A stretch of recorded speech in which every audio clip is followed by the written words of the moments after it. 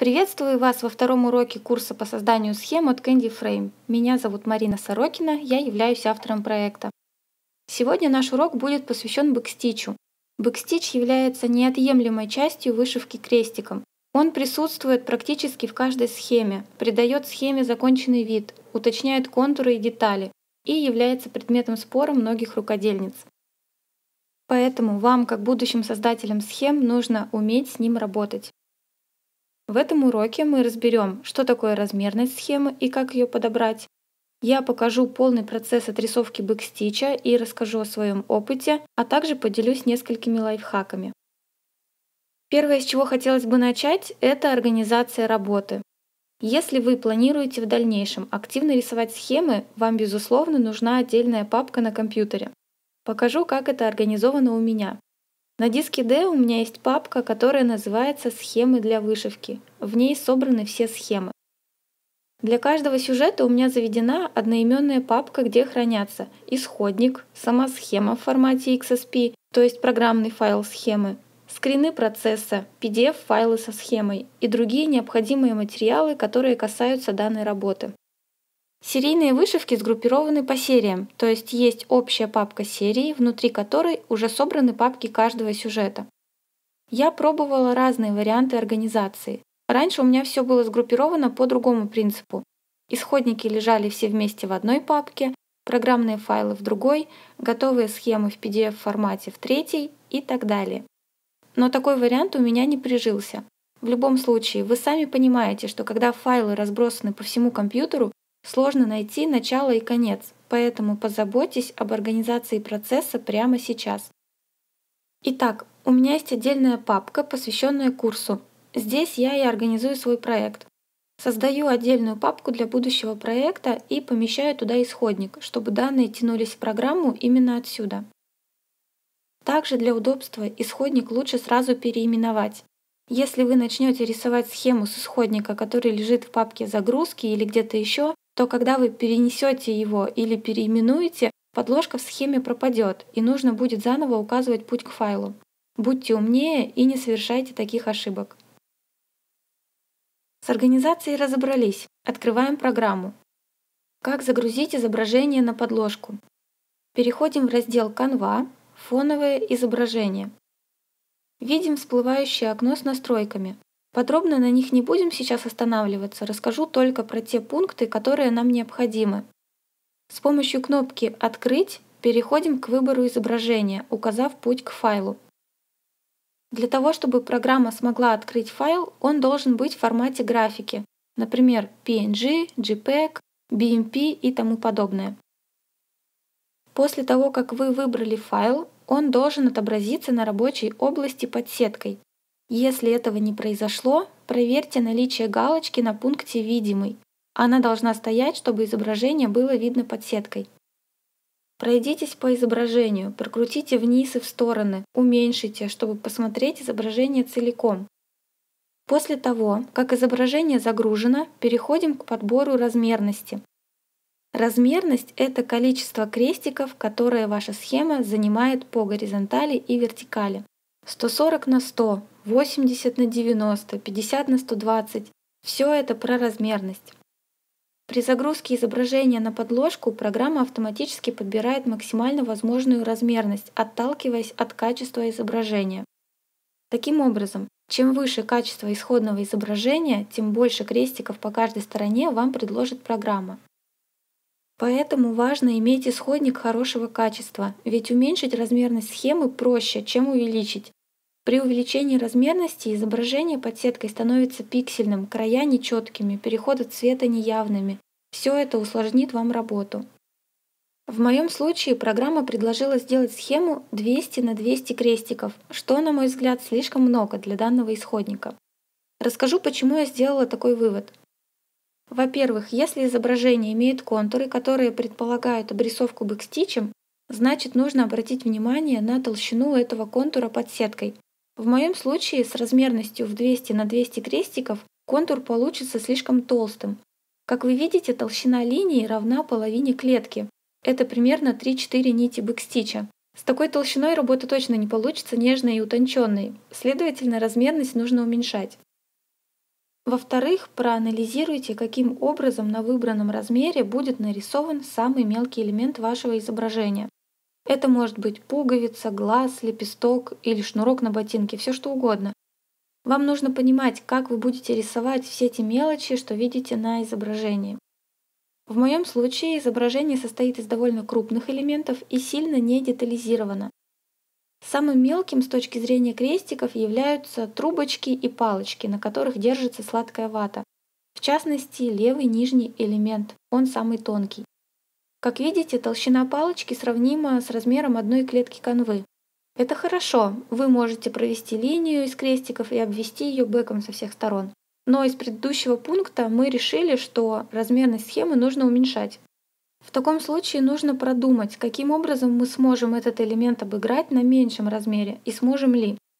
Я предполагаю, что эту палочку можно будет заменить лонгстичем. В-третьих, оцените, какой объем крестиков приходится на каждый элемент рисунка. В моем случае рисунок делится на такие элементы, как палочки, трубочки и сладкая вата. Например, вата карамельного цвета будет занимать размер примерно 40 на 40 клеточек. То есть 1600 крестиков на один элемент, который будет состоять примерно из трех цветов. Вышивальщица заскучает его вышивать, а вы заскучаете его рисовать. Чтобы вы понимали, 40 крестиков это примерно 8 сантиметров. 8 сантиметров может быть в высоту один кулек сладкой ваты, без учета рожка. Всегда старайтесь уменьшить размер схемы, если это возможно. В моем случае возможно без потери качества проработки уменьшить размер схемы. Подведем небольшой итог. Чтобы понять, подходит ли выбранная размерность схеме, нужно обратить внимание на толщину контура, проанализировать возможность прорисовки самого мелкого элемента схемы и оценить объем крестиков, приходящийся на каждый элемент схемы. Вы провели анализ на основе этих пунктов и решили, что размер схемы нужно изменить. Прежде чем перейти к изменению размерности схемы, обязательно закройте замок соотношения сторон. Он располагается в окне фонового изображения. Если вы начнете менять значение высоты или ширины, не закрыв замок, ваше изображение начнет вытягиваться по вертикали или сплющиваться по горизонтали. Важно менять размер сторон пропорционально, поэтому не забывайте закрыть замок. Это важно. После того, как вы закрыли замок, можно приступать к подбору размера. Изменить его можно, нажимая стрелочками вниз или вверх рядом со значением ширины или высоты, или прописав это значение вручную. Размер меняется сразу, как только вы изменили значение. В моем случае размер 100 на 100 крестиков показался мне самым подходящим, при таком размере линия контура во многих местах совпадает с линиями сетки. Это значит, бэк хорошо ляжет поверх контура и его будет удобно рисовать. Но при этом некоторые элементы придется размельчить. Как я уже сказала, это коснется палочек и рожков, в которых находится сладкая вата. Что касается подбора размера, я предлагаю вам отталкиваться от значения 100 крестиков по большей стороне. Цифра в 100 крестиках основана на моих наблюдениях, это не какая-то аксиома, это формула, которую я вывела опытным путем. Чем хороши схемы размером до 100 крестиков по большей стороне? Такую схему можно удобно расположить на листах при выводе графики. Символы при этом будут крупные, и вышивальщица сможет легко в этой схеме ориентироваться. Схему до 100 крестиков по большей стороне можно быстро отрисовать вы получите готовый результат за пару дней работы. Схемы такого размера идеально подходят для серийных вышивок, а серии, как вы знаете, популярны среди вышивальщиц. Еще один плюс такой схемы – ее можно вышить за пару вышивальных дней. Работа не уйдет в долгострой и подойдет для параллельного процесса. Если это серия схем, то запал вышивальщицы не успеет угаснуть, что нельзя сказать о крупноразмерных схемах. Кроме этого, цена на такую схему будет доступной для вышивальщиц и приемлемой для вас, так как вы не затратили на эту схему много времени. Для примера, все схемы серии «Вышиваем для любимых» поместились на размере 100 на 100 крестиков, даже меньше. При этом удалось прорисовать и шапки, и глаза, и элементы одежды. До сих пор эти схемы являются самыми популярными в моей группе и приносят мне доход. Какой можно сделать вывод? Если ваш рисунок небольшой, имеет четкие контуры, состоит из крупных элементов, не имеет сильной детализации, в нем небольшое количество цветов, то отталкивайтесь от 100 клеток по большей стороне. Если понимаете, что даже при 100 клеточках контуры получаются слишком широкие, участки одного цвета слишком большие, убавляйте постепенно размер. Сначала шагами по 10 крестиков, потом по 5. То есть было 100 по большей стороне, убавляйте до 90 и смотрите на контур, выровнен ли он по сетке. Если контур во многих местах идет не по границам клеток, нужно подогнать его под них, так будет проще отрисовывать бэкстич.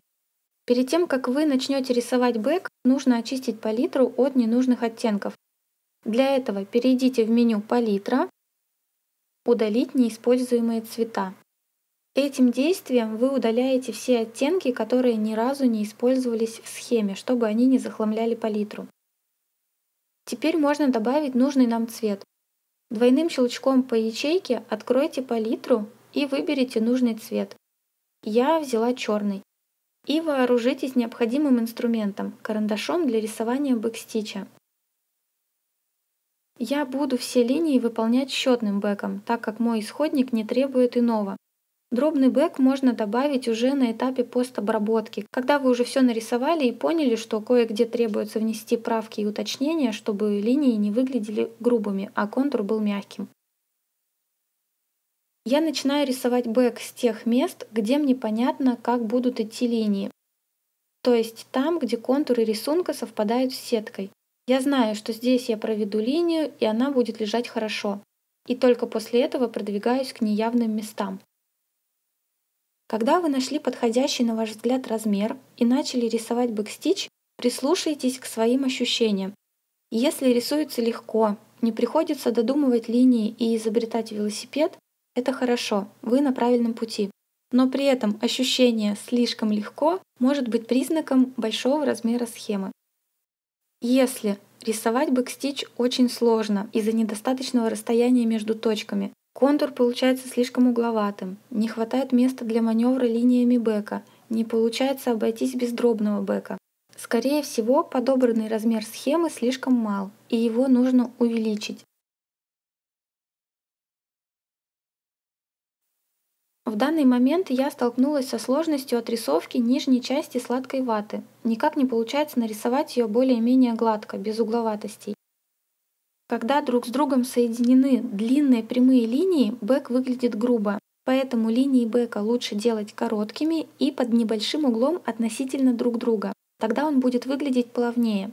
Я вернусь к этому участку позже. Вам я тоже рекомендую не застревать надолго на одном участке. Если не получается с третьего-четвертого раза, переходите на другую часть схемы не всегда решение приходит сразу. Сюда вы всегда успеете вернуться, даже после того, как нарисуете все крестики.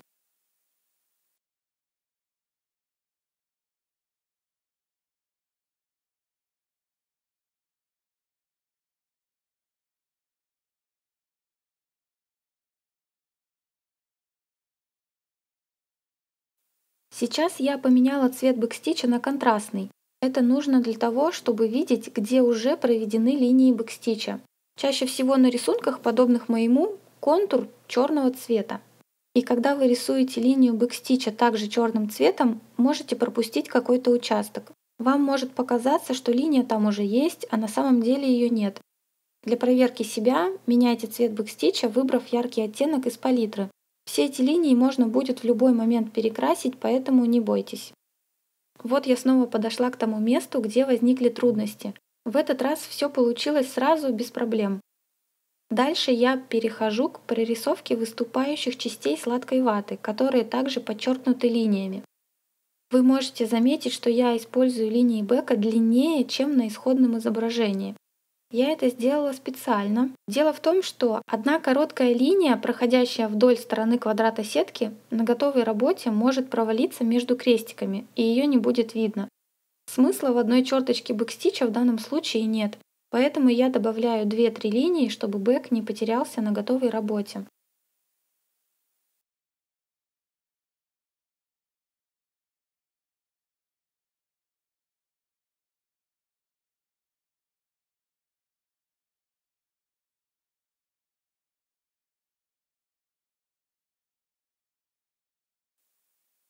Мы с вами договаривались не использовать линии длиной более трех клеток по диагонали. Я сейчас свое же правило нарушу. Ситуация складывается таким образом, что рожок имеет прямые линии, сужающиеся к низу. Рисовать их прерывистыми линиями бэка по 2-3 клетки не имеет смысла. Этим я создам излишнюю угловатость, поэтому я рисую рожок двумя длинными линиями бэка. Да, вышивать их будет сложнее, чем весь остальной бэкстич. Можно будет изменить цвет этих линий в схеме на альтернативный и указать их в ключе как лонгстич. Либо оставить линии бэком, а вышивальщица самостоятельно разобьет их на более мелкие стежки в процессе вышивки. Если учесть, что весь остальной бэк максимально простой и счетный, две линии это не критично. В выборе между красотой и удобством схемы нельзя однозначно принять одну из сторон. Всегда нужно анализировать и пробовать, чтобы добиться максимально красивого результата максимально удобными стежками. На примере моей работы можно увидеть, что в отрисовке самой сладкой ваты я пошла навстречу вышивальщице и сделала линии бэка максимально удобными. Они не такие плавные, как в исходном изображении, слегка угловатые. От этого схема немного потеряла во внешнем виде, но прибавила в удобстве. Что касается нижней части, рожка, в котором находится вата, здесь я пожертвовала удобством вышивки ради красивого результата. Я не могу вам сказать четкого правила на этот счет, в каких случаях можно, в каких случаях нельзя жертвовать удобством. Это работает на уровне интуиции. Работа дизайнера в большей степени является интуитивной. Вы подбираете размер схемы интуитивно, проводите линии бэка интуитивно, подбираете цвет интуитивно. Эту дизайнерскую интуицию можно и нужно развить. Развить ее можно с помощью тренировок и анализа. Осознанно подобрав размерность к 10 схемам, вы уже интуитивно будете понимать свои ориентиры. С каждым разом это будет даваться вам легче. Нарисовав сотню линий бэкстича, вы интуитивно будете понимать, где можно отойти от контура исходного изображения, а где не стоит. В рамках этого курса у вас есть уникальная возможность обратиться ко мне как к человеку, который уже имеет опыт прокачки интуиции. Вы можете задать мне вопрос, получить ответ, подсказку и тем самым ускорить развитие своей собственной интуиции и формирование собственных ориентиров. Важным пунктом в отрисовке бэкстича является предпросмотр промежуточного результата.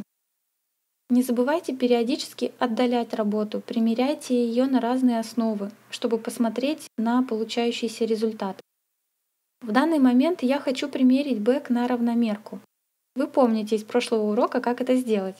Заходим в меню Canva, Count ткани и ставим галочку напротив пункта про счетную ткань.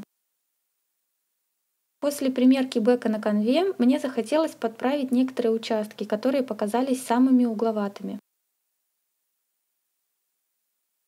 Вы можете заметить, что на схеме есть места, где линии бэка имеют разрыв. Это хороший выход из ситуации, когда вы никаким образом не можете соединить линии. Например, когда линии контура исходного изображения сходятся в центре квадрата сетки. Можно прибегнуть к дробному бэку в таком случае, но в данной схеме это усложнение не нужно. Я упрощаю работу вышивальщицы. И если здесь я не дорисую линию, ничего кардинально не изменится. Опытная вышивальщица сможет самостоятельно замкнуть контур, если захочет. Дальше я перешла к подбору цветов. Но про цвет я расскажу в следующем уроке, поэтому перемотаю запись на место, где я снова возвращаюсь к бэкстичу. Во многих своих работах я рисую бэкстич постепенно, чередую его с крестиками. Если ваша схема предполагает обилие бэкстича, то отрисовка всего бэка разом может отбить желание рисовать его когда-либо в будущем. Поэтому тоже пробуйте чередовать отрисовку бэка с крестиками. После того, как я заполнила часть схемы крестиками, я снова возвращаюсь к бэкстичу. Смотрю на него уже в совокупности с крестиками. Экспериментирую с лонгстичем, пробую заменить им бэкстич.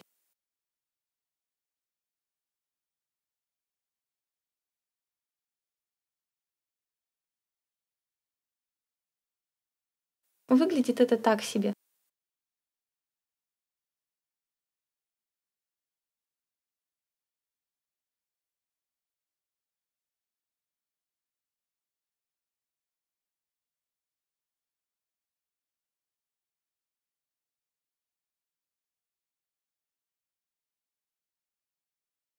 На корочке рожка имеются линии.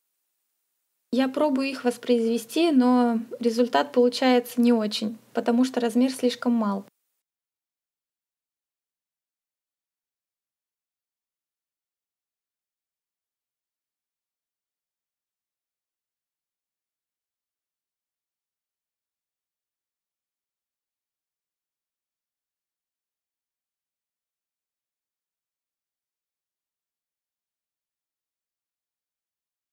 Линии счетного бэка просто не помещаются, но все равно решила пока оставить и перешла к заполнению рожка крестиками. Так выглядит мой реальный процесс работы. Я много раз переключаю режимы отображения, отдаляю, приближаю схему, меняю цвета. В итоге я решила вовсе отказаться от полосок на рожке, чтобы не перегружать схему. Давайте сохраним работу после того, как сеанс рисования закончен. Можно воспользоваться кнопкой «Сохранить» на панели инструментов или зайти через меню «Файл», «Сохранить» и указать путь к файлу. Выберите ту самую папку, которую вы заранее создали.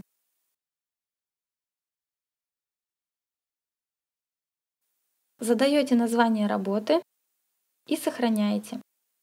После этого программу можно закрыть. Теперь вы можете открывать схему двойным щелчком из папки. Когда вы открыли схему спустя какое-то время, при переключении в режим сетки вы можете не увидеть фонового изображения. Программа помнит, где лежит исходник к этой схеме. Для продолжения отрисовки нужно снова зайти в меню Canva, фоновое изображение. После этих действий исходник подгрузится в схему с сохранением всех параметров. Также можно открыть схему из программы с помощью кнопки «Открыть» на панели инструментов или через меню «Открыть» и выбрать путь к файлу. После того, как вы окончательно определились с размерностью схемы, предлагаю вам изменить площадь рабочей области под размер схемы. Для этого заходим в раздел Canva, размер и выставляете значения ширины и высоты равными параметрам вашей схемы. Это нужно для избежания подвисаний в работе программы, так как чем больше схема, тем сильнее программа нагружается и возможны различные лаги. На этом у меня все. Резюмирую. Организуйте работу, создав папку на компьютере и перенесите туда все необходимые файлы. Загрузите изображение на подложку. Подберите размерность схемы. Размерность схемы нужно подбирать, предварительно зажав замок соотношения сторон. При подборе ориентируйтесь на толщину контура, на самые мелкие элементы изображения, на объем крестиков каждого элемента и отталкивайтесь от значения в 100 крестиков по большей стороне. Начните рисовать бэкстич. Предварительно очистите палитру цветов, Начинайте рисовать бэкстич с тех мест, где контуры рисунка совпадают с сеткой. Не зацикливайтесь на одном участке. Если не можете прорисовать сразу, вернитесь к нему позже. Используйте контрастный цвет бэкстича. Просматривайте промежуточные результаты в разных режимах и на разном отдалении. Чередуйте отрисовку бэка и заполнение схемы крестиками. И развивайте дизайнерскую интуицию, Если отрисовка бэкстича дается вам слишком легко, возьмите в работу еще одну схему. Рисуйте 2-3 работы одновременно, берите исходники разной сложности. Ваша задача в рамках этого курса — максимально все попробовать. Должно быть трудно. Трудности пробуждают желание разобраться в проблеме и решить ее. Чем больше трудностей вы решите, тем больше пользы вы извлечете из этого курса. До встречи в следующем видео.